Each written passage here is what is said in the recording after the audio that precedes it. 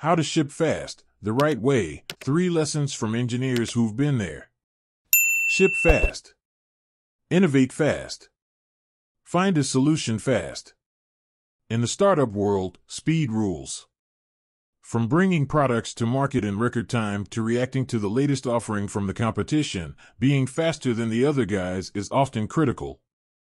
But for the engineers who actually build the products, features, and platforms that users rely on, working at breakneck speeds can create strain, stress, and gasp buggy releases.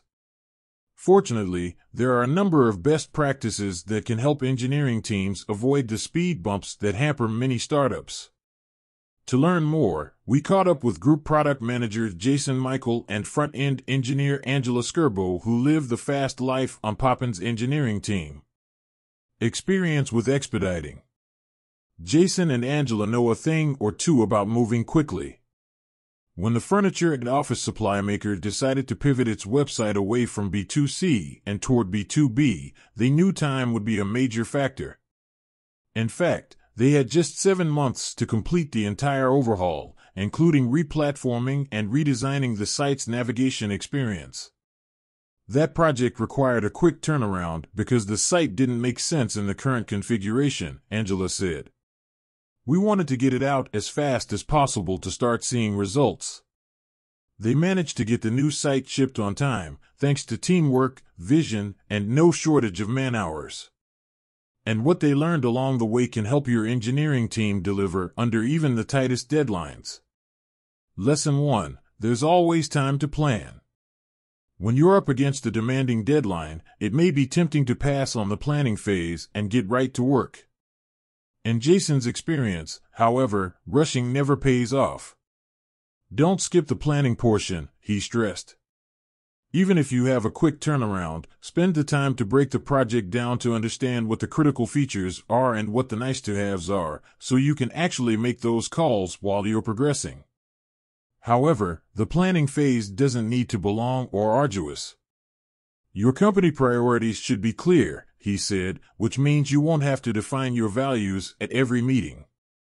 Planning is probably 15% of the project process, he said. Lesson 2 Keep everyone informed and aligned. Having a plan only works if you can keep everyone moving in the same direction. That's why Jason stressed that all your teams have to get on and stay on the same page. When a project comes in, we go through a quick scoping exercise to understand the extent of that project to break it down into different components, he said. Because we are a small startup, all of our teams work really closely together.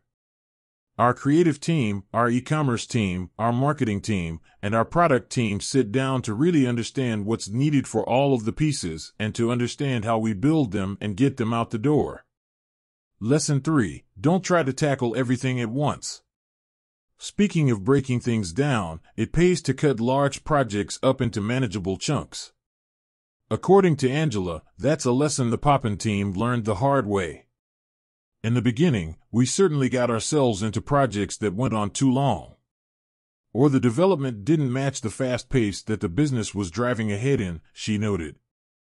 From that experience, we learned that we have to break projects out into smaller tickets or pieces and discuss those small details. We aren't afraid to cut project components out during that initial scope. Plus, breaking large projects down into smaller projects allows your team to set reasonable milestones that you can use to measure your progress along the way. To meet a deadline, sometimes you have to realize that you can't do it all, she added. Angela and Jason shared these lessons so you don't have to learn the hard way. Whether you're part of a startup accustomed to velocity or at an established company struggling to catch up, their experiences can help your team innovate and accelerate without the pain of long meetings, blown deadlines, and angry executives. But we can't promise you won't be putting in your share of late nights.